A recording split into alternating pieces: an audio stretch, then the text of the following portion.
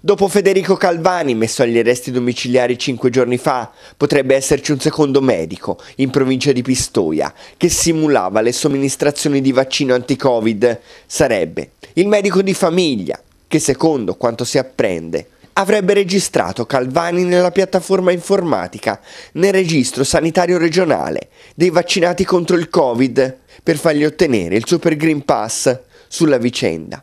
Indaga la procura di Pistoia nelle intercettazioni, infatti, con le microspie piazzate dai carabinieri di San Marcello Pistoiese, Calvani dice a una sua paziente: Io ufficialmente sono una persona che è a posto con il vaccino. Ti sei vaccinato? chiede la donna. E Calvani: No, no, se. Ora non ti posso dire. Per l'ordine dei medici di Pistoia, il dottore è in regola con l'obbligo vaccinale, ma gli inquirenti vogliono vederci chiaro.